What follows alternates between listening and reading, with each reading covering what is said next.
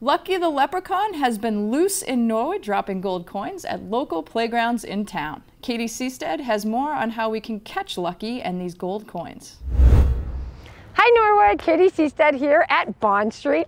Um, we are talking about the Lucky Leprechaun scavenger hunt that is starting March 15th and it's going to go to the 19th. Um, we hope that you go around to our six different playgrounds. You are looking for these gold coins. Um, hopefully no one will touch them. Please make sure that you keep the coins where they are. Um, we don't want people touching them. Make sure if you are going out and looking for the coins and Lucky, who is at every single playground, you have your mask on, you're staying socially distant, and that you're having a great time. Now remember, in order to be entered to win a prize, you need to take pictures with the coins and Lucky the Leprechaun.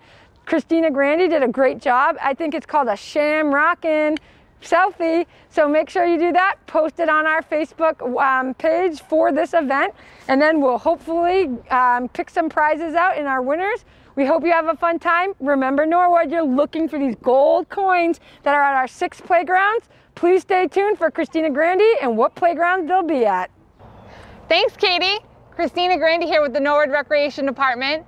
I'm at the Doherty Playground, one of the six playgrounds for the Lucky Leprechaun Scavenger Hunt.